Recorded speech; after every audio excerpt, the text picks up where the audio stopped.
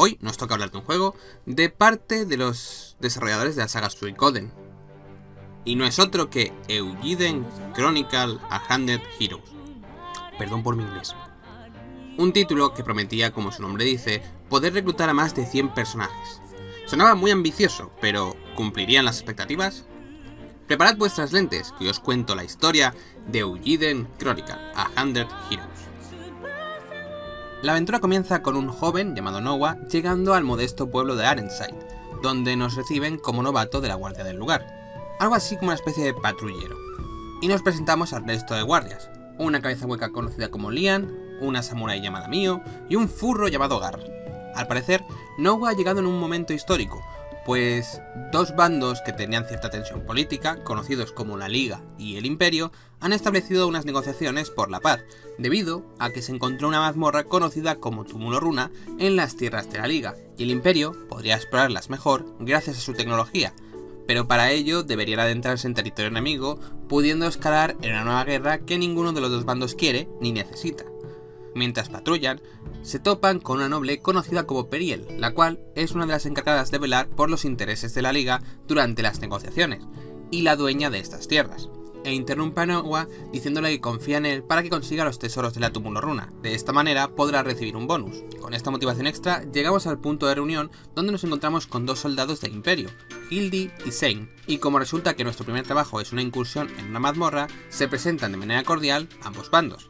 Con este nuevo grupo formado, llegamos al bosque del norte donde tendremos el primer obstáculo, ya que una piedra se interpone en nuestro camino, pero Zane no tarda en desintegrarla gracias a su lente, una especie de artefacto con la que pueden canalizar la magia y reforzarla gracias a un dispositivo otorgado por el imperio. A ver, para entendernos, las lentes son artefactos mágicos que pueden canalizar la magia o darle atributos a quien la porta. Sin embargo, es posible que haya gente que no pueda usarlas, pero no es problema para el grupo, ya que todos o casi todos tienen su propia lente. Así que avanzamos hasta que nos adentramos en la niebla, y en ella nos ataca el primer boss del juego, una especie de planta, pero aprovechando el poder de las runas y que Hildy puede sanar, conseguimos eliminarla. Tras este contratiempo llegamos a la entrada de la túmulo runa, y Zane consigue abrirla gracias a su lente, con lo que ya podemos cumplir nuestro primer encargo de despejar el camino a la túmulo runa. Sin embargo, Zane no ve esto como el final de la misión, sino el principio, ya que podría haber una lente primigenia, un artefacto legendario que encierra un gran poder,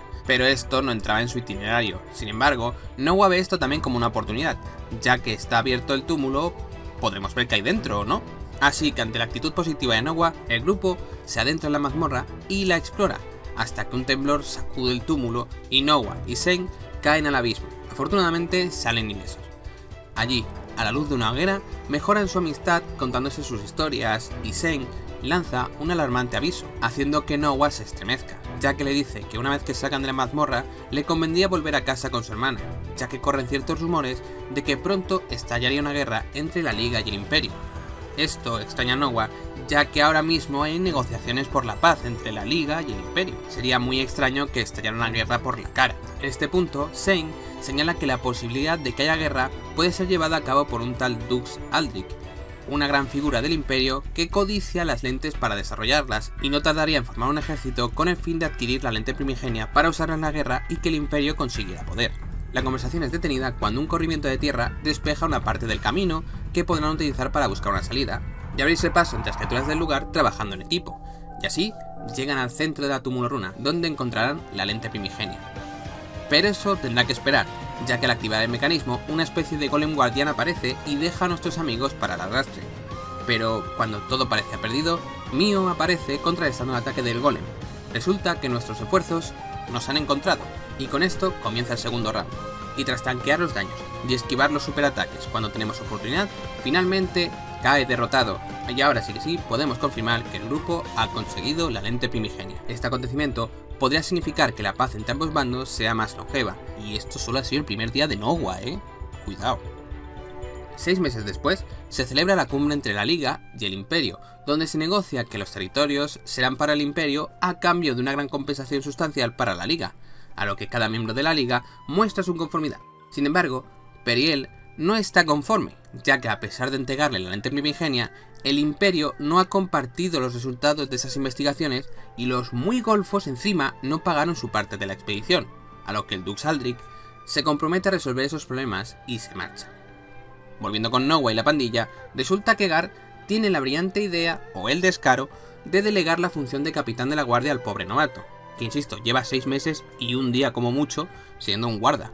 Y así, Noah es ascendido a capitán temporal de la guardia, y su primer cometido como capitán será reclutar a varias personas con el fin de agrandar el poder de la guardia. Mientras de paso hacemos nuestra patrulla. Mientras vigilamos la ciudad, oímos unos gritos e improperios dignos de un camionero. ¿Cuál es nuestra sorpresa cuando quien hace esos comentarios es una sanadora, que al vernos cambia radicalmente y pasa de ser una camionera a una señorita educada llamada Francesca. También está Yusuke, un forajido que interpelan unos guardias por sus pintas, pero Nowa intercede por él y en agradecimiento por la confianza se unirá a nuestras filas.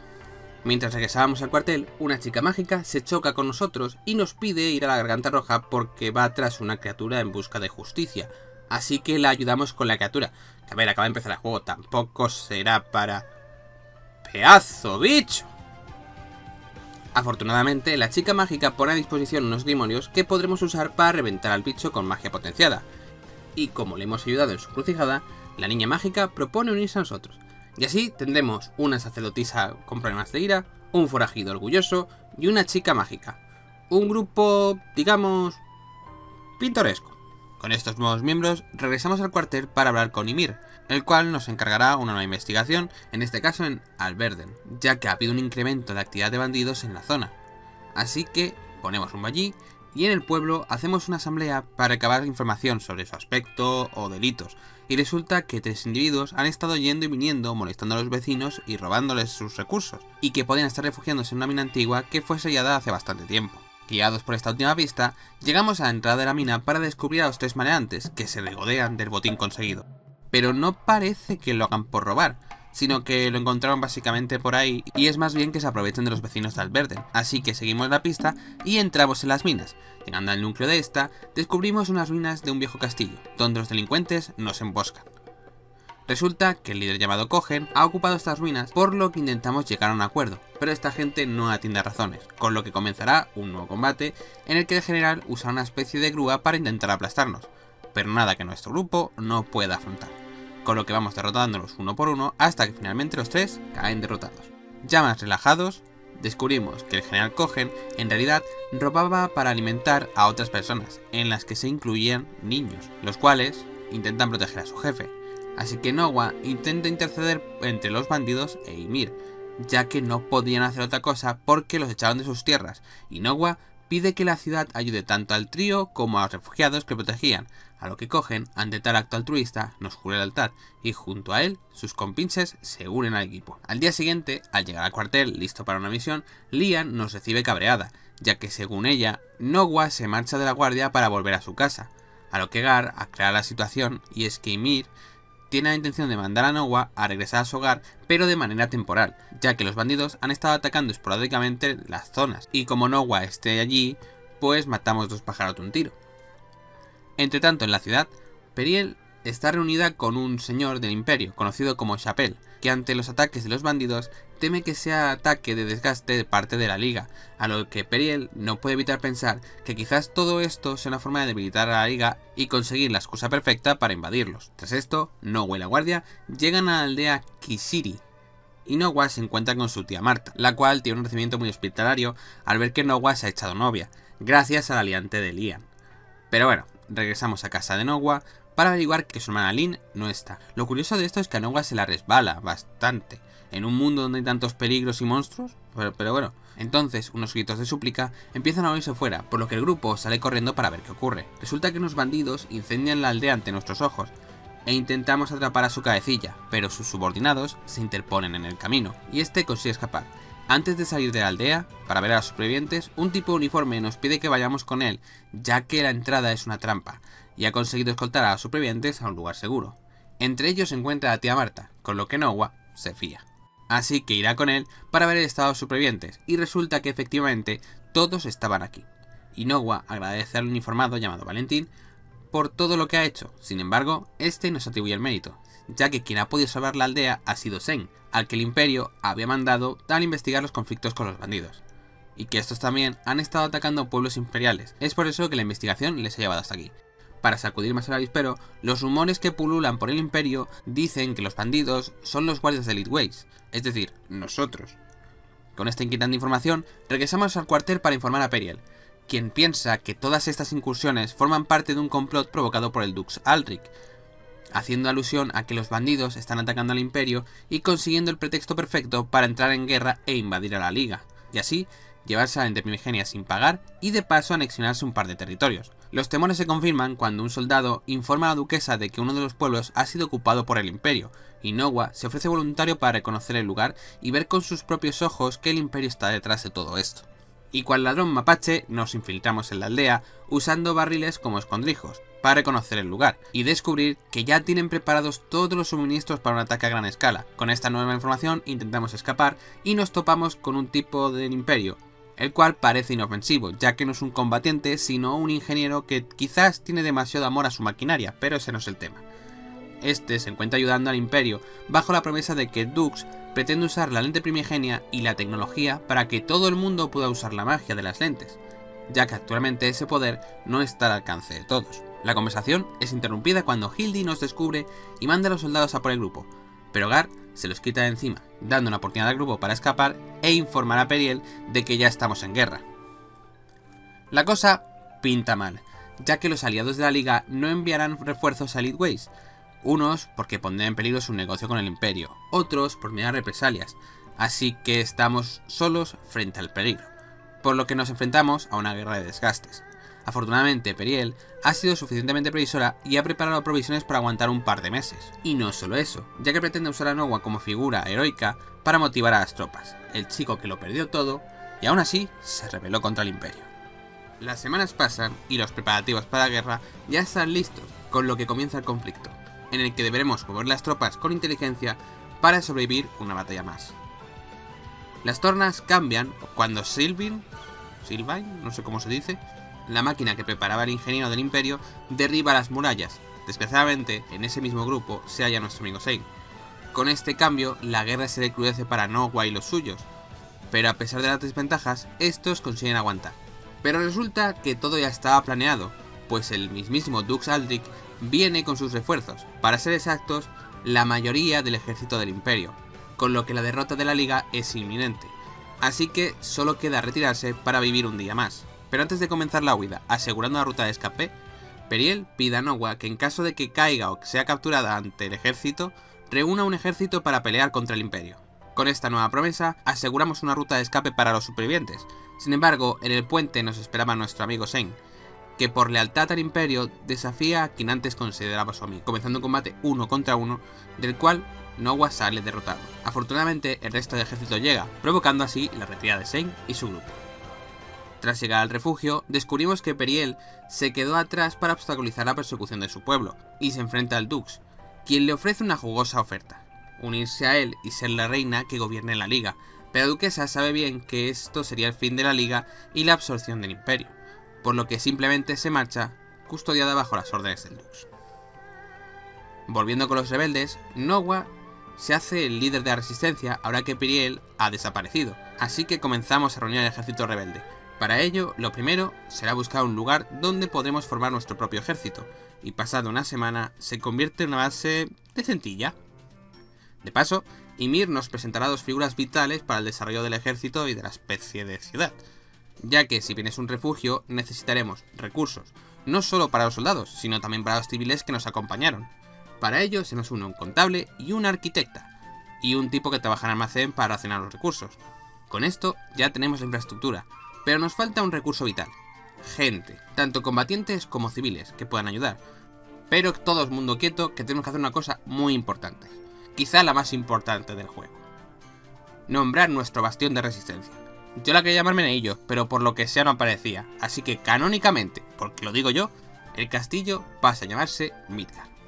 Con el imperio iniciado, comenzamos el viaje reclutando a gente, ayudándoles en sus tareas, como recoger madera, ayudar a otras personas, etc. Entre tanto, en un lugar en la gran profundidad del bosque, se celebra una reunión entre los cuales se encuentra Garou, uno de los protagonistas de Eugene Chronicle Rising. ¿Era necesario aclararlo? Para nada, pero me apetecía.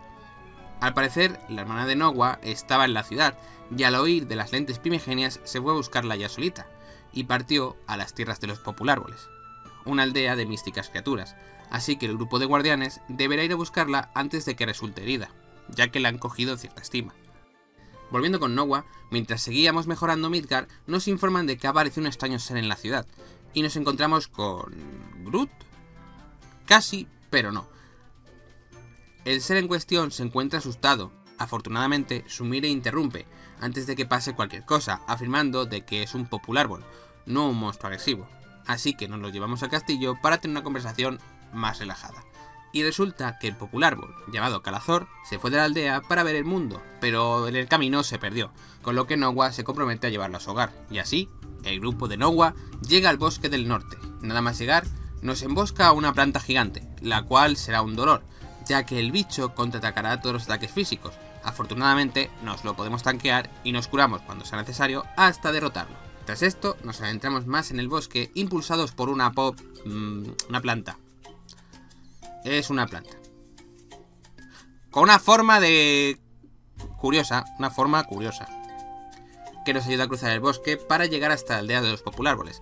Pero antes de ni siquiera entrar, la guardiana, llamada Marisa, nos intercepta pidiendo explicaciones cuál control fronterizo, ya que teme que Nowa sea una avanzadilla del imperio de la que ya he oído hablar pero rápidamente se arregla el malentendido cuando el jefe del pueblo ve a Calazor y le piden que le acompañen, pues el anciano del lugar parece que ha sufrido daño por parte de unos forasteros que han robado algo. Afortunadamente, la guardiana Lingwell junto a Calazor pueden sanarlo. Mientras se produce la recuperación, Nowa y Marisa liman las perezas y de paso se dan cuenta de que Lin es la hermana de Nowa. Algo que os he adelantado, pero mira, se descubre aquí. Con el anciano a salvo, el jefe del pueblo nos explica cómo ocurrió el robo. Y es que unos malhechores robaron la runa del anciano, provocando su estado. Y al parecer los ladrones han huido a Túmulo Runa. Mientras, en las tierras de prueba, o Túmulo Runa como queráis llamarlo, los bandidos que atacaron la aldea de Nogua están investigando las pruebas, y a este grupo hay que añadir una incorporación, una señora con máscara de zorro llamada Narungarde. Este grupo ansía explorar la Túmulo Runa para encontrar la lente primigenia y entregársela al Dux confirmando así que el ataque de la aldea de Nogua era por parte del imperio. Volviendo con Nogua, este hace piña con los guardianes y juntos se preparan para ir a las tierras de prueba, para evitar que el imperio salga con otra lente primigenia o devolverle la runa al anciano. Sin embargo, para poder entrar es necesario llevar un popular árbol. Así que Calazor se une al equipo, y el nuevo grupo formado parte a la Tumuloruna, donde tendrán que resolver unos enigmas. Y gracias a Calazor llegamos al núcleo, pero entonces los guardianes de la Tumuloruna hacen acto de presencia y nos atacan. Básicamente es la SOA, será el tanque del grupo que hará mucho daño a un aliado, mientras que Astarea lanzará magia que hará daño a todo el grupo, dificultando bastante el combate. Pero una vez derrotado al titán, la guardiana no tardará en caer a base de habilidades de la lente. Con los guardianes derrotados, llegamos a la ubicación donde se suponía que estaba la lente primigenia, pero lo que vemos es algo diferente. Resulta que Liné, Lin, no sé cómo se pronuncia esto, ¿verdad? Ha conseguido la runa que codiciaba el imperio, y la acorrala para robársela. Sin embargo, se marca un Naegi y confía en su fortuna, arrojándose al vacío para ser recogida por una especie de ascensor, y así escapa del imperio. Dejando que el espía llamado Harswine y Narungate se enfrenten a Nowa.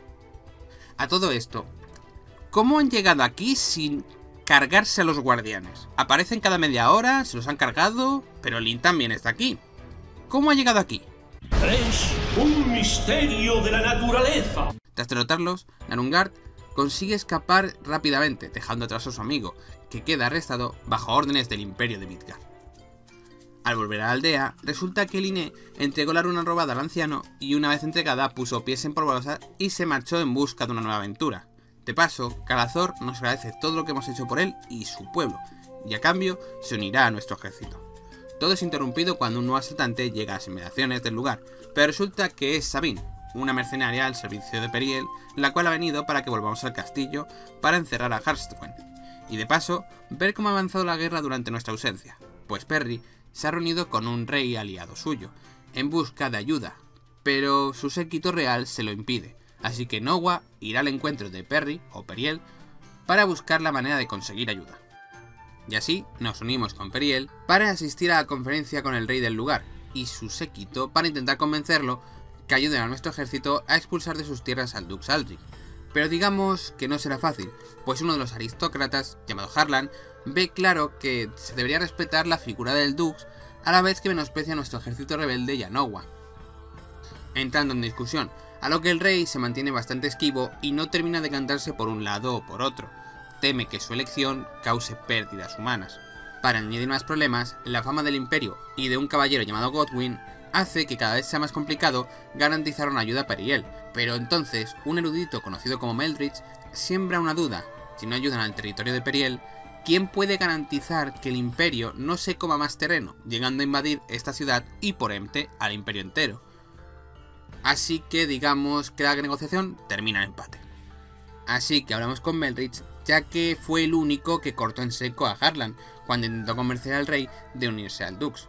Pero digamos que no actúa desinteresadamente, ya que al hacer una alianza con el imperio, Harlan podría ganar más poder y podrían desechar al erudito y a sus investigaciones cuando quisieran. Por lo que sugiere que vayamos a fisgar una nueva adquisición de Harlan, ya que últimamente se han visto caras desconocidas rondando por sus tierras, y para investigar sin ser detectados, el grupo deberá atravesar las ruinas de la ciudad perdida. Pero antes de marchar, nos preparamos comprando suministros cuando una maga llamada Kari aparece de la nada y según ella, todo estaba controlado. Pero digamos que no nos la creemos. Así que la maga admite el fallo, y para evitar que se ensucie su imagen de maga perfecta, se unirá al ejército para vigilar que no se le escapa a nadie este acontecimiento. Por lo que conseguimos el personaje más útil del juego, ya que nos teletransportará a cualquier lugar que hayamos visitado sin costa adicional. Así que, una nueva unidad y teleport. Win-win. De paso, también reclutamos a nuevas fuerzas, como la amiga de Mio, para adentrarnos en la ciudad perdida, donde aprovecharemos los poderes de teletransportación de Carrie para llegar a una zona inaccesible. Tras esto, nos adentramos en la ciudad perdida, pero entonces el grupo es emboscado por una horda de monstruos llamados Pagurlos, para ser exactos, un grande y dos pequeñicos. La estrategia aquí es eliminar a uno de los pequeños para que una vez golpeado el grande pierda el equilibrio y detenga su ataque. Así de paso le hacemos más daño y evitamos que haga daño masivo en área cuando venga. Con esta simple estrategia lo derrotamos y llegamos a la mansión de Harlan donde descubrimos que el noble ha sido comprado. Por lo que mostramos las pruebas ante el rey y no solo eso, sino que se desveló un complot para ir en contra del rey, para reventar más la situación, el imperio, liderado por Godwin, está a las puertas y el rey nos pide ayuda para poder proteger su reino. Así que comienza la nueva batalla entre las tropas del rey, el ejército de Nogua, contra el imperio. Sin embargo, entre la superioridad numérica y el poder de Godwin, la batalla parece perdida. Pero entonces, las tornas cambian cuando un nuevo aliado aparece. Resulta que mientras hacíamos los preparativos, Meldrich conseguía un ejército de mercenarios del desierto, con lo que se equilibra la balanza forzando una retirada del imperio. La noche llega y en el campamento de los imperiales, Zane contempla la hoguera junto a su amigo Paul, preguntándose si esto es lo que tenía que hacer para honrar a la casa de Kessling y a su hermano. La conversación es interrumpida cuando Hildy llega con un mensaje preocupante. La información es confirmada por Godwin y Chapel, y es que circula el rumor de que el emperador ha sido asesinado así que las tropas deberían regresar a su tierra. Sin embargo, el Dux no ha dado orden de retirarse. Con todo este caos sumido en el imperio, llegamos a una nueva batalla. Sin embargo, durante el conflicto, Sen asegura que la muerte del emperador ha sido obra del Dux Aldrich, por lo que se niega a seguir sus órdenes y se declara en rebeldía contra el Dux para honrar el honor del imperio. A esto hay que sumarle que Godwin quiere investigar por él mismo el asesinato del emperador, por lo que deja al pobre Chapel solo que cae ante los ejércitos de Hishan, consiguiendo defender la ciudad de las garras del Dux. Pero la celebración tiene una incógnita. ¿Qué ha pasado en el imperio para que hayan tenido que huir? A lo que Zane aparece y explica el motivo de la desbandada del imperio y la supuesta traición del Dux. Con estos confusos acontecimientos, y lo más importante, la ciudad de Hishan a salvo, regresamos al castillo para ver cuál es el siguiente paso, ya que gracias a la ayuda prestada, el rey Euma, ha decidido que su erudito se una a la alianza como estratega de Nogua. Y no solo eso, sino que Kelsing y su grupo también se unen con el fin de detener al Dux para recuperar el honor del imperio. Con estas nuevas uniones, Meldrich sugiere que necesitamos más reinos aliados, y Barnard, el líder del ejército de los mercenarios, sugiere un posible reino, el Imperisark, que viven en el desierto y son muy buenos guerreros. Así que también dividiremos el trabajo en dos.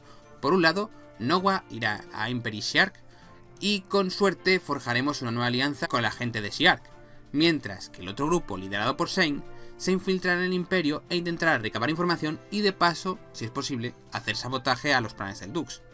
Y así, el grupo de Nowa comienza un nuevo viaje rumbo a Impery Shark.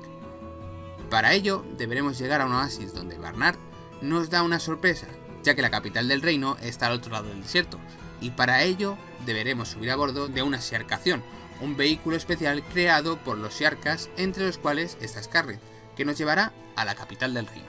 Y a bordo de la Siarcación viajamos a la capital del reino. Lo curioso de esta raza es que odian el agua, y lo que más me pregunto es...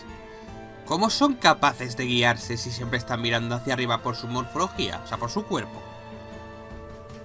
Con este misterio entre manos, llegamos a la capital, donde nos topamos con una reunión de siarcas, y es que al parecer hay una especie de carrera que se celebra dentro de poco y es algo así como una tradición. Y casi seguro, pero casi casi seguro que no tendremos que competir para avanzar, ¿eh? Para nada, para nada. Mejor lo dejamos pasar y tenemos la audiencia con el rey tiburón llamado Skid. Inowa le pide que se una a su ejército, a lo que el rey y sus allegados empiezan a cantar de la nada y aquí se me bugueó el juego y se quedaron 5 minutos cantando y bailando, obligándome a saltar la cinemática. Así que supongo que llegaron a un acuerdo de que se unirían al ejército si Nowa ganaba la carrera de siarcaciones. Aunque bueno, la realidad es que con solo terminarla basta. Lo cual me parece un poco meh, la verdad. Ya puestos hay que ganarla, ¿no? Pero bueno, hablamos con el organizador para participar mis años de carreras en Ratchet y Clank y Jack X dan sus frutos, porque conseguimos el primer puesto sin demasiadas complicaciones. Al ganar la carrera, el rey ve de alguna manera, que desconozco, la voluntad de Nowa, por lo que decide unirse a la alianza. Y no solo él, sino nuestro entrenador de Siarcaciones será nuestro camarada. Por lo que, con una nueva alianza y un nuevo compañero, Nowa regresa a Midgard. Mientras, en las tierras del Imperio, Shane y su grupo se reúnen en un refugio lejos de los ojos del Imperio gracias a los contactos de Valentín, el cual ha traído a las chicas. Una de ellas, llamada Yaelu, fue secuestrada junto a su pueblo para ser conejillos de indias del Dux. Afortunadamente, la otra chica del Imperio, conocida como Ivy, la rescató, ya que la ingeniera desconocía todo esto, y al enterarse tuvo que actuar rápido, y así juntas consiguieron escapar. Ante tal historia, Sen decide infiltrarse en las instalaciones para rescatar al pueblo de Yaelu y reunir las pruebas para demostrar la tiranía del Dux y quizás el sabotaje. Para ello, se infiltrarán en las instalaciones, las cuales parecen más bien una mazmorra. Un escalofrío recorre al grupo al ver unos monstruos enormes merodeando por las instalaciones, pero consiguen abrirse paso hasta llegar a la sala principal, donde el Dux retiene a los aldeanos, los cuales son sujetos de prueba porque son capaces de usar la magia con las lentes, pero entonces, un joven se revela ante el Dux. Esta rebelión le agrada y le explica que para descubrir los secretos de la lente es necesario hacer sacrificio, como los padres del chico, provocando la ira de este e intenta atacarlo, pero entonces el Dux le corta el brazo sin inmutarse. Es entonces cuando Saint llega y ataca al Dux comenzando una batalla que no conseguimos ganar. Afortunadamente, los refuerzos llegan y Sylvain irrumpe en la sala, rescatando a todos los aldeanos incluido al hermano malherido de Yaelu. Para evitar que vuelvan a ser capturados, el grupo de Sein hará de señuelo mientras sus soldados los llevan a un lugar seguro. Así comienza la maniobra de distracción de Sylvain, pero antes de darnos cuenta, un monstruo gigante nos corta el paso. El combate podría ser complicado, si no fuera porque Yaelu ciega al monstruo haciendo que falle muchos golpes. Y tras un largo combate, lo eliminamos, reanudando la persecución, eso sí. Y bueno, espero que no haya ningún enemigo ¡Mierda! Otro monstruo nos irrumpe el paso, pero al igual que el primer bicho, lo cegamos y lo derrotamos. Mientras el grupo huye, observa un hecho preocupante. Los dos monstruos que hemos derrotado previamente tenían lentes incorporadas, es decir, eran experimentos de Dux. Todas las elucubraciones son interrumpidas cuando Narungard aparece limitando ante el grupo, desvelando que son prototipos, y nos lanza el nuevo monstruo. Pero vamos, que Yaela está rotísima y ciega a todo Kiski. Ya al igual que los otros dos, el tercero no tarda en caer y lo eliminamos. Sin embargo, Narungard sigue aquí y nos desvela la cruda realidad. Resulta que los prototipos eliminados han sido creados gracias a los sacrificios humanos de la aldea de Yaela. Pero ya no podemos hacer nada, solo podemos huir, así que si me permite... ¡Otro más! Oe. Para joder más la situación, esta vez Yaela no podrá cegarlo, ya que es un boss que tiene resistencia a la ceguera. Pero para poder equilibrar la balanza, podemos usar el cañón de Silpin. Con esta nueva artimaña conseguimos eliminarlo y usamos el cañón para poder escapar sanos y salvos. Antes de marcharse de las tierras del imperio, Sen se infiltra en su casa e informa a su padre de todo lo que ha visto acerca del Dux y su tiranía, pero sin pruebas físicas no se puede informar a Godwin, por lo que se despide de su padre y se marcha del imperio para regresar a Midgar e informar de la incursión. De paso, tendremos nuevos aliados como Yaela y su hermano, al cual Ivy le ha creado una prótesis con la que podrá combatir y usar su lente. A la mañana siguiente recibimos la visita de Marisa y Garú, pero digamos que no es visita de cortesía precisamente, pues informan de que el imperio sigue su avance y como añadido extra hay que sumarle una amenaza desconocida que los guardianes no saben detectar. Por lo que tendremos que mover el ejército a Norristar, ya que hay rumores de que este será el siguiente objetivo del imperio. Pero para llegar usaremos un camino que solo los guardianes conocen. Y cruzando este camino nos topamos con un dragón, pero no le damos importancia. Menos mal que era el camino más seguro, ¿eh? Pero bueno, nos calzamos el dragón para llegar al hogar de Marisa. De repente, uno de los guardianes conocidos como Alwi advierte al grupo de que han aparecido renacidos. Esa era la amenaza que detectaban, pero por alguna extraña razón no sabían de dónde venía. El caso es que los renacidos han vuelto, por lo que el grupo llega a la plaza, donde el líder, un señor, yo voy a decir un Lich, llamado Marcus, exige que se unan a él. Pero digamos que por lo que sea no quieren. Por lo que empieza un combate contra los muertos vivientes, del cual salimos victoriosos. Ante la derrota de sus renacidos, Marcus se larga pacíficamente, con lo que el líder de los guardianes, llamado Wave, nos agradece la ayuda, y Nowa se reúne con el resto de guardianes para evaluar la amenaza del imperio, y es que el peligro es más real que nunca, ya que si el imperio ataca, ni la unión de Norristar y los guardianes podrían detenerlos, pero quizás con nuestras tropas algo se podría hacer, así que los guardianes nos acompañan al reino. Tras las pertinentes presentaciones, Nowa y compañía tienen la audiencia con el rey y su escudera llamada Electra, y así junto a estos empiezan a establecer una estrategia. Entonces, un esquimal interrumpe en la cumbre en busca de ayuda, ya que su hermanito y sus amigos se han perdido en una cueva llena de monstruos, y la gente del pueblo es incapaz de rescatarlos, a lo que Electra pretende mandar tropas a ayudar. Sin embargo, el rey lo rechaza porque no está dispuesto a proteger una zona por un par de niños. Así que viendo la cobardía o estrategia del rey, Nogwa accede a ayudar a buscarlos en la cueva, donde el grupo rescatará a los peques hasta llegar al fondo gracias a convertirnos en cubitos de hielo. En el fondo descubrimos la criatura más fiera de la cueva, un cerbero helado que me recuerda un montón a cierto boss de Cry 3. Perdón, me voy. Comienza el combate con Fenrir, en el cual podremos usar el entorno para derrotarlo. Y aquí el MVP es Alwi, ya que tiene habilidades de imbuir flechas de fuego e imbuir las armas de los héroes en fuego, con lo que hacemos daño masivo y finalmente el perrito cae. Tras derrotarlo, encontramos al hermano de Rudy, el esquimal, y con todos rescatados regresamos a la aldea, quien nos agradece el rescate y así de la nada nos enteramos de que el ejército del imperio se encuentra al otro lado de esa montaña. Así que con este gesto altruista hemos conseguido la ubicación de dónde atacar al imperio. Con esta nueva información nos dirigimos al rey, pero este nos avisa de que el gran bosque Yaran está siendo asediado, así que lo primero será defender el hogar de Marisa y los guardianes, pues resulta que el ejército de renacidos es numeroso gracias a un poderoso ser llamado Tiradge, Tiradde, qué nombre más raro, coño, que al parecer es un aliado del imperio, por lo que la gente del bosque y los guardianes se ven obligados a huir de su hogar y refugiarse en Norristar, y allí celebrar una nueva reunión junto al rey de Hishan y el rey de Kenan, llamado Balmauris. El rey draconiano traerá las tropas cuanto antes, así que para ganar tiempo, Nowa y el grupo se irán al paso de montaña a ralentizar el imperio. Para ello, el grupo se dividirá en tres. Un grupo liderado por Nowa, otro por Sein y otro por Marisa. Cada grupo utilizará una carga rúnica para dinamitar el camino y así darle tiempo al ejército draconiano a llegar y prepararse en Norristar. El plan sigue sin contratiempos por parte de Marisa y Sein, sin embargo, cuando Nowa volvía a deponer la carga, un caballero del imperio llamado Heinrich embosca al grupo, comenzando un combate en el que no somos rivales para él, pues el tipo hace un daño muy bestia. Afortunadamente, la carga rúnica explota provocando una distracción para que el grupo pueda huir y la misión sea cumplida. Con esta operación tenemos todo listo para ir a la batalla contra el Imperio liderado por Heinrich y Chapel, así que la batalla será todo un reto. Afortunadamente, el ejército Kenani está en camino.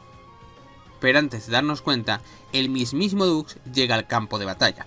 Y no viene solo, sino trae su ejército y un puñetero dragón enorme. Para joder más la situación, resulta que Valmaurice nos ha traicionado, ya que el rey aceptó un acuerdo con el Dux, gobernar juntos las tierras de la liga cuando él gane, por lo que los héroes se repliegan para evacuar a los civiles de Norristar. Sin embargo, el Dux ya predijo los movimientos y envió a su aliado sobrenatural con sus ejércitos de renacidos al reino. Así que Nowa y el grupo deberán asegurar la evacuación del reino defendiéndolos de los renacidos, por lo que nuevamente dividiremos el grupo en tres para proteger cada entrada del reino, donde nos enfrentamos a multitud de zombies y a un demonio superior. Afortunadamente, gracias a nuestros esfuerzos, los demonios renacidos caen y la evacuación es un éxito. Bueno, más o menos, pues la general Electra y Maxim se quedarán para retrasar el avance del Imperio y asegurar a la gente de Norristar. Aprovechando este sacrificio, nuestro grupo llega a la costa. Pero esto también estaba planeado, pues unos soldados kenanos, acompañados de una bestia prototipo, nos cierra el paso, comenzando un nuevo combate del que saldremos victoriosos. Y con esto ganamos la batalla, pero no la guerra, ya que mientras Snowway y el grupo peleaban contra el prototipo, otros soldados han destruido el barco, impidiendo que puedan huir. Parece el fin. Pero entonces, una sintonía resuena por el mar, y resulta que los Siarcas han llegado superando su versión al agua, y así la Liga consigue escapar de su aciago destino. Entre tanto, en Midgard, Harswen ha conseguido escapar de su misión, y si no fuera poco tener un asesino del Imperio pululando por Midgard, resulta que Chapel y el Imperio han conquistado a Hishan, segregando a su gente y prometiendo una recompensa a aquellos que posean las lentes. Ya... ya sabemos la recompensa, ya. Todo esto es observado por Garou y Sabine, los cuales informan al grupo que ya está en. La guerra contra el Imperio parece perdida, ya que han conseguido capturar demasiados territorios y cuentan con el apoyo de muchos ejércitos, entre ellos Kenanos y Renacidos. Sin embargo, a pesar de esa carga y de ese sobrepensamiento, Nogwa no quiere rendirse y dejar que el Dux someta a la tiranía al mundo, por lo que solo queda una opción, luchar. Es entonces cuando Alwi decide que intentará hablar con su hermano, el líder de Clan Fagut, para conseguir esfuerzos, mientras la guardiana busca a los norristanos supervivientes que hayan conseguido escapar. Y bueno, pues Nogwa se encargará de reclutar más gente a sus filas, pescando peces o enfrentándonos a un calamar gigante. Lo típico de un miércoles, vaya. Con nuevas fuerzas reclutadas, algo inesperado sucede, y es que el señor mago, a mí me parece un lich, conocido como Marcus, aparece ante nuestras puertas con un séquito de renacidos, exigiendo venganza. Pero no a nosotros, sino a Diradge. Diradde, Diradde, voy a, voy a llamarlo Diradde, el mago aliado del imperio. Así que, como el enemigo de mi enemigo es mi amigo, establecemos una alianza para poder preparar el siguiente golpe al imperio. Y es que según Marcus, todo el poder de Diradde, o gran parte de este, reside en una lente que custodia en su antiguo castillo, por lo que si la robamos, podremos eliminar la amenaza de los renacidos de golpe. Y como los guardianes tienen motivos personales, serán ellos los que encabecen la misión, acompañados de Kari, el grupo llega a las puertas del castillo. Tras atravesar el castillo, gracias a un plataforma de engranajes, llegamos ante el nuevo señor del castillo, pero el muy cobarde usa a la reina gigante para atacarnos, comenzando un combate y... Y aquí digo, ¿por qué no podía ser todo el juego así con este pedazo de modelado? Es igual, estoy a gusto personal, también te digo. Es que estilo 2D, 3D o HD, como queráis llamarlo, me produce sentimientos encontrados. O hacéis todo 2D como Sea of Stars, o 3D, pero no, no, no todo junto. Pero bueno, comienza el combate, el cual es un dolor, porque la condesa invoca a los minibosses que nos hemos enfrentado en Norristar. Al menos en este caso no tardan demasiado en morir. Y a base de pociones y que Whiff tiene un ataque rotísimo que se carga casi enseguida, Isa la remata, poniendo fin a la pesadilla de la duquesa. Y nuestra guardiana no se echa para atrás, con lo que consiga arrinconarlo. Entonces el mago lanza todo lo que tiene, pero la guardiana lo esquiva todo y consigue asestarle un golpe mortal, con lo que Marcus consigue absorberlo poniendo fin al reinado del rey renacido. Y no solo eso, sino que también obtenemos su lente primigenia. Mientras, en Midgard, el líder de los elfos llega y como su hermano le explica la situación, este decide unirse. Sin misiones ni nada. ¡Pum! Aliado que te crío y a tomar por saco. Con estas nuevas fuerzas y la pérdida de los renacidos por parte del Imperio, el conflicto podría cambiar de vencedor, mientras, en los terrenos del Imperio, Aldrich ha descubierto la ubicación de los rebeldes y planea hacer un ataque a gran escala. Pero Godwin no lo ve con buenos ojos, no solo hay soldados, también hay civiles y niños inocentes, pero la voluntad del nuevo emperador pesa más. Antes de mover las tropas, el Dux habla con Dirade para que haga su informe, y este menciona que intentaron asaltar el castillo, pero los asaltantes murieron por su mano. Pero resulta que todo esto es un ardiz de Marcus, que se hace pasar por el mago para engañar al Dux. Ahora solo queda hacer los preparativos para la batalla final que pondrá fin a la guerra, independientemente de quién gane. En la noche, mientras todos descansan, los eventos no dejan de cesar, pues Periel se cuela en el campamento enemigo y hace un acuerdo con Valmaurice para que pueda huir sana y salva junto a su séquito mientras estalla la guerra. Eso sí, no será gratis, ya que a cambio le legará toda la fortuna de la familia Grum. Por otro lado, en la tienda de Godwin, este se reúne en secreto con el padre de Shane y es que gracias al aviso de su hijo ha conseguido reunir las pruebas necesarias y lo más importante, reales, que demuestran el complot del Dux de asesinar al emperador. El día llega y tras un discurso motivador comienza la última batalla, pero antes de ni siquiera medir fuerzas, el Dux saca la artillería pesada en forma de monstruo enorme. Parece que el combate será aún más duro de lo que esperamos, pero entonces, del bosque de los populárboles surge un gran ser hecho de vegetación. Al parecer es el Betularca que junto a la gema ha creado este ser. Y así comienza un combate Kaiju. Mientras la batalla se desarrolla, Marcus despela nuestro as bajo la manga, y hace desaparecer a los renacidos, con lo que el ejército de Falgut, aprovechando esto, contraataca al imperio. Un, temita. ¿No hubiera sido mejor usar los renacidos contra el imperio? Ya están usados, que más da un par de horas más, que dure el combate, los matan y ya está. ¿No? Igual no lo pueden hacer, pero me parece raro que no lo justifiquen. O lo si lo han justificado y no me da cuenta, ponme en los comentarios, por favor. A los refuerzos también se suma el ejército superviviente de Norristar, liderado por Electra y Maxim, que al parecer consiguieron escapar y reorganizarse con los soldados supervivientes. Entonces, Van Maurice, presionado ante los acontecimientos, da órdenes a su subalterno, pero ¿cuál es la sorpresa? Cuando este último ha decidido unirse a los rebeldes, porque ve indigno los tratos que ha hecho el rey. Parece que el imperio está contra las cuerdas, por lo que el Dux ordena a Godwin que arrase con todo, pero este se alza en armas contra el Dux, por haber asesinado al emperador y todas las tropas unidas, derrotan al ejército del Dux. O lo que quedaba más bien, provocando que este huya a su base. Por lo que, sin perder tiempo, Nowa y su grupo asaltan el campamento, eliminando a los soldados restantes hasta llegar al Dux. Pero entonces, Heinrich se interpone en nuestro camino y Narungard huye junto al Dux, dejando a su campeón atrás, comenzando un nuevo combate, que a diferencia del encuentro en la nieve, esta vez ya no nos derribará fácilmente. Y combinando las habilidades, finalmente el bastión del Dux es derrotado. Pero antes de dejar que persigan al Dux, el honrado caballero desactiva su regulador de lente, provocando una explosión de la que el grupo sale ileso por los pelos. Con esto, la batalla ha sido decidida y la liga ha ganado la guerra, aunque eso sí, el Dux consiguió escapar, por lo que esto aún no ha terminado. Pero de momento celebremos la triunfal victoria y tras descansar se celebra una fiesta, pero entonces, durante la celebración, Carswain dispara una flecha y Periel hace de escudo humano protegiendo a Nowa del ataque. A pesar de que la flecha no alcanzó ningún órgano vital, esta estaba envenenada con un potente veneno, del cual no se conoce la cura, por lo que Nowa acude a su llamado y pasa con ella los últimos momentos de su vida, no sin antes legar el nombre de los Grum en el joven. Y con esto muere. Que tus recuerdos sean eternos, Perry. Los días pasan y el ejército de la Liga va recuperando las zonas ocupadas por el Imperio. Ya solo queda que el Dux pague por sus crímenes.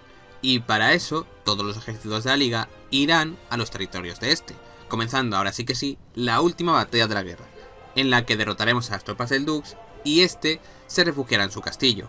Pero esta vez seremos nosotros los asaltantes y atravesaremos la mansión hasta llegar a sus murallas, donde Narungard nos espera lista para derrotarnos.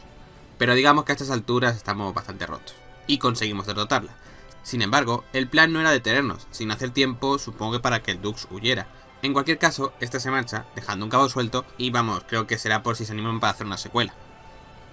Finalmente, llegamos frente al Dux, quien sigue defendiendo que todo lo que hizo lo hizo por la humanidad, ya que aspiraba a crear una tecnología con la que todo el mundo pudiera usar magia, no solo aquellos que poseyeran una lente, aunque para ello tuviera que sacrificar a mucha gente. Las palabras caen en saco roto, si bien es cierto que al principio podría verse como un sacrificio por la humanidad, en realidad es pura ambición de poder usar la lente primigenia a su antojo, bajo la promesa de un futuro mejor. Entonces, el Dux llama al monstruo que usa en el campo de batalla, provocando que el puente se rompa y dé comienzo un nuevo combate. Y bueno, tras un arduo combate en el que el bicho nos dará con todo, conseguiremos derrotarlo. Eso sí, a duras penas, madre mía. Pero resulta que el monstruo renace con una nueva forma, y lo más importante, con nuestro grupo bastante tocado y sin apenas PM en mi caso, con lo que el combate será un dolor, ya que para más placer, el boss hará un ataque que hace daño masivo a un personaje, o directamente invoca un meteorito cual Sephiroth que revienta al grupo. Y no me preguntéis por qué, porque yo tampoco lo sé. Conseguimos derrotarlo. Con esta victoria ya estamos listos para enfrentarnos al Dux, quizás con algún hueso roto, pero estamos listos. De repente, una parte del resto del puente cede y separa a Nowa del grupo, por lo que será él solo quien se interne en la guarida del Dux, donde yace la lente primigenia en todo su poder. Comenzando así un duelo de espadas entre Nowa y el Dux. Sin embargo, el Dux es demasiado poderoso y consigue dejar exhausto a nuestro caballero. Aprovechando esto, el Dux carga su espada con la energía de la lente y lanza una ráfaga a Nowa. Pero Sein consigue repelerlo y darle el relevo a Nowa. Y aquí, a ver, eh, el juego se me fue a la puta pausas entre los diálogos sin venir a cuento de nada, o lo que es más sangrante, efectos de las magias que no aparecieron, dejando una escena que era bastante épica en una escena bastante ridícula. ¿No me creéis? Os dejo un fragmento de la escena extraído del directo.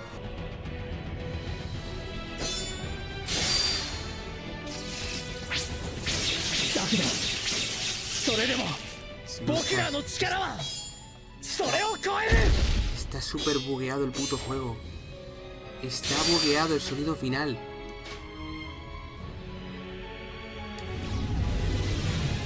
Está bugueado el final. ¿A dónde apuntas, cámara? Al igual que Nowa, a Sen le fallan las fuerzas.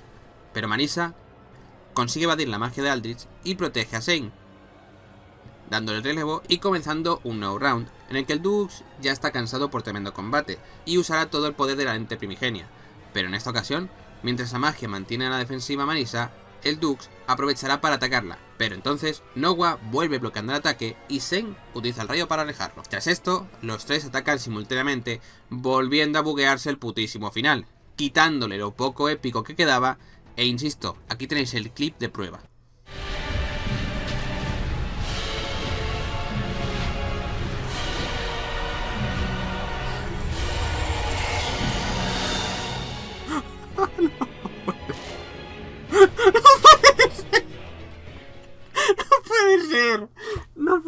¿Cómo está tan rota esta mierda?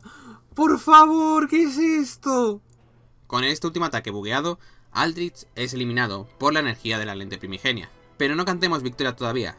Sí, el Dux está muerto, pero el combate ha provocado que el castillo se desmorone y... ¡Oh sorpresa! Otro bug me jode hasta los créditos finales, ya que este bug me obliga a saltar la cinemática. Así que digamos que mágicamente consiguieron escapar a lomos de águilas, ¿vale? Hasta esto me vas a negar.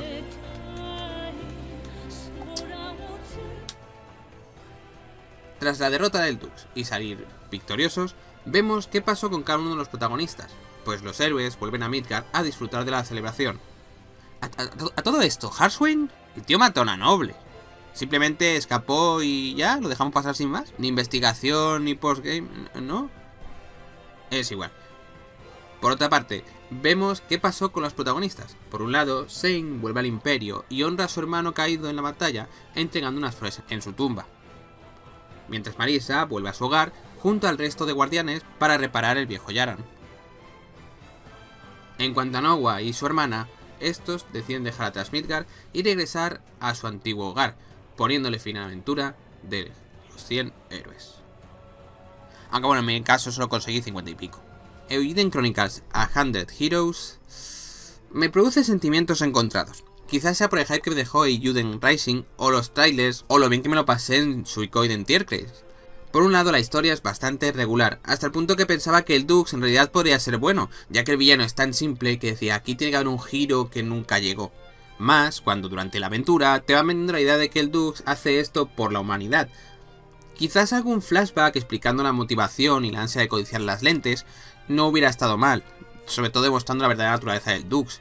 Por otro lado, intentan hacer algún girito que se vea a kilómetros. Por ejemplo, Periel, que en ningún momento te crees la traición, más que nada porque siempre está contigo.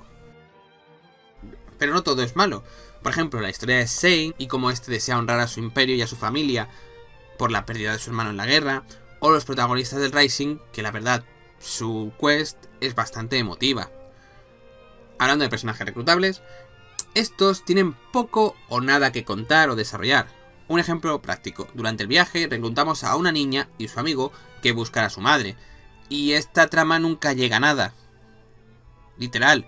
La reclutamos y no se puede hablar del tema. Y como esto pasa en la mayoría, no hay desarrollo. Simplemente haces una quest para ayudarlos, pero después no tienes más. Aunque creo que esto es más por la calentada de meter 100 personajes, que no sepa que metes tantos, colega. En cuanto al apartado visual, Cumple de sobremanera, eso sí, a pesar de no ser muy fan de este 2D mezclado con 3D, o como lo llaman 2D HD, visualmente no tiene ninguna pega, ni en los sprites de los personajes, ni en el diseño de los monstruos, ni los entornos, todo está de 10. Sin embargo, ahora viene lo malo, el combate se me hizo súper tedioso. Mira que me gustan los JRPGs con combates por turno, pero quizás eso de que cada encuentro random te puedas encontrar de 3 a 6 monstruos puede resultar bastante aburrido, hasta el punto de que estuve a punto de dejarlo en la primera mazmorra, ya que al intentar explorarlo un poco me saltaban combates cada 30 segundos. Otra opción es huir, sí, pero si lo hacemos corremos el riesgo de no poder huir y comernos el ataque del enemigo. Así perdemos más vida y tiempo, y ya si son 6 monstruos, cagamos. Como contrapunto a esto, también tengo que decir que los combates contra los bosses son lo opuesto, ya que cada uno tiene una buena duración y en algunos casos un desafío. Ahora voy a hablar de lo que más me jode de este juego. Lo primero que molesta a la vista es cuando un personaje grita, y es que el bocadillo agitándose es muy molesto. Parece una chorrada, pero si lo ves durante todo el juego es molestísimo, hasta el punto de que puede llegar a marear. Es un efecto innecesario que perjudica la secuencia. Y lo que me parece más grave son los bugs. Y no estoy hablando de errores de traducción en el que te comes un texto en inglés, que los hay también. Que creo que ha habido un caso, que tampoco me parece tanto. Sino aquellos bugs que te bloquean el juego porque se han quedado en bucle infinito, obligándote a saltar la cinemática o el gatillazo en la pantalla final que duele, ya que te jode toda la experiencia. Y mira, podrías decir, bueno, cargas partida y ya, pero ni de coña, porque venimos de tres combates seguidos de bosses, que son una hora de pelea. Estás tú que yo voy a repetirlo de nuevo. y, como estaba ya quemado en los huevos. En conclusión, para mí, Eiyuden Chronicles es una decepción. Esperaba una historia llena de aliados y aventuras, y en su lugar tenemos una historia normalita, con una jugabilidad que a veces odie y a veces amé, y con unos bugs que lastran el juego. Y hasta aquí el vídeo de hoy, ponedme en comentarios qué os ha parecido el juego, si lo habéis jugado, y ya que estáis por ahí, dejad vuestro like y suscribiros para más vídeos así. Muchísimas gracias a los miembros de la familia Mapachicos, que hacen que esto siga creciendo, subiendo y mejorando, y nos vemos en el siguiente vídeo. Ale, hasta luego.